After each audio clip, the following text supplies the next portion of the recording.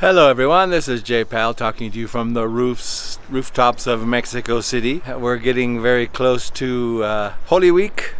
Actually starts tomorrow. So I wanted to let you know that I'm going to be doing some posts. I'm going to try something. You perhaps remember the 12 days of Christmas, 12 days of Thanksgiving. Well, I'm going to try something similar. And I'm going to do the Holy Week. I want to do a breakdown. Although I've been a believer for many years, I feel like this is one of the events that I have missed and not celebrated nearly as much as should be. So I wanted to really study it this week and uh, really appreciate what God did and appreciate what Jesus did for us and really look at it in a, uh, a little bit more under the microscope. And I thought, well, it may be a great time to share share this with you as well. So uh, this is called Breaking Down Holy Week so far. Uh, this week leads to Easter the most important event in human history. So I really wanted to dig in and understand what happened and walk with other Christians throughout this event. See how it was celebrated, honored in the past, and just see what the Bible has to say about it. I'll be using the chronological Bible for this it's interesting to be remembering and celebrating this in the midst of this international emergency which we're having. This is the COVID-19 at this time. So uh, it's a pretty important time of healing, salvation, rescue, supply. We need all of that. Jesus' story is always encouraging in that sense because he supplied all those things for us.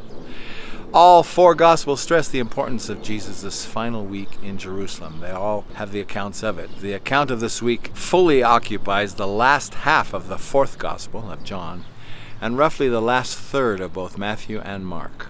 The final week of his life is often called the Passion Week, which is an appropriate name since the word passion is derived from the Latin word suffering. Of course, his passion for us is shown throughout his life and through the death and resurrection as well.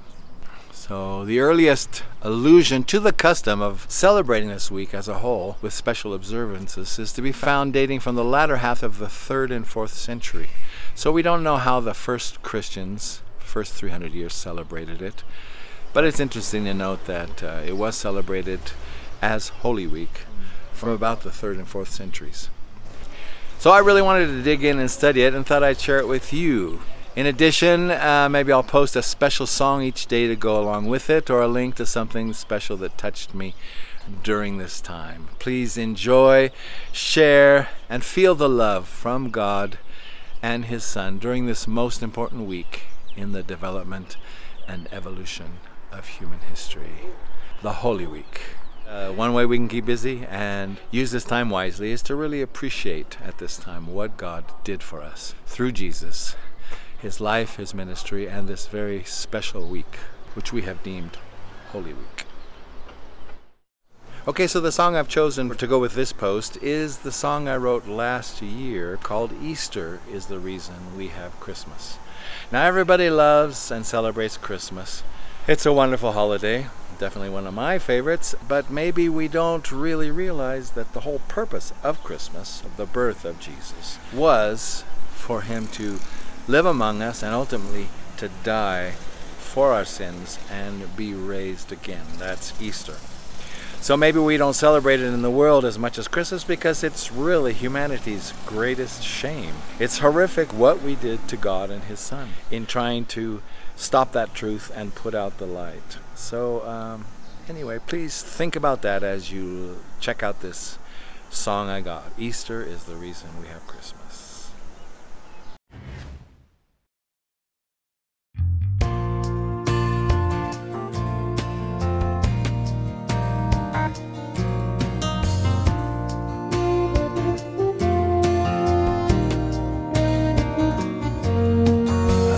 Child so small and weak, so similar to you and me.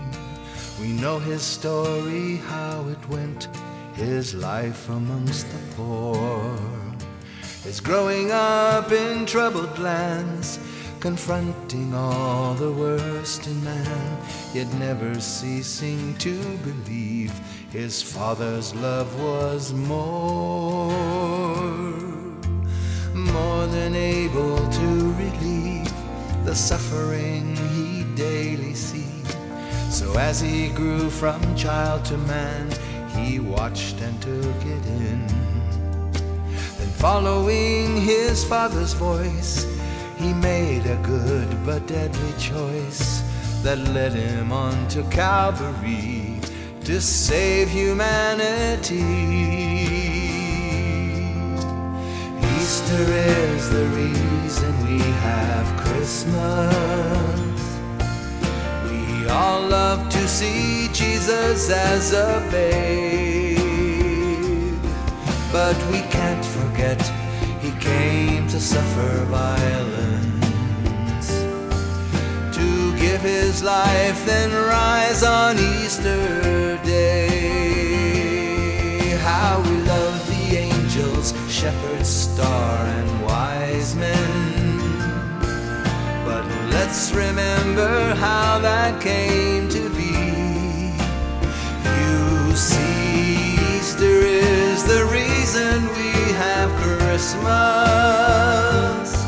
Someone was born to die for you and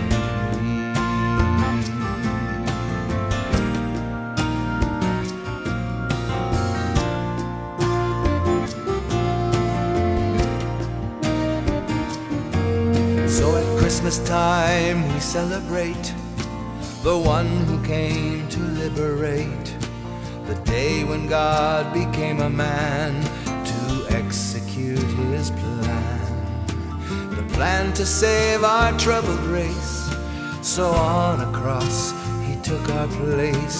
That all began in Bethlehem when God became a man. Easter is the reason we have Christmas. We all love to see Jesus as a babe. But we can't forget he came to suffer violence. To give his life and rise on Easter Day. How we love the angels, shepherds, star, and wise men. But let's remember how that came to be. You see, Easter is the reason we have Christmas.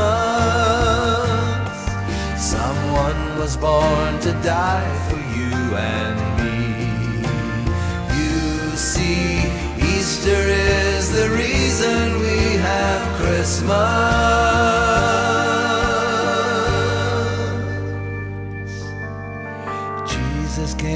To die for you and.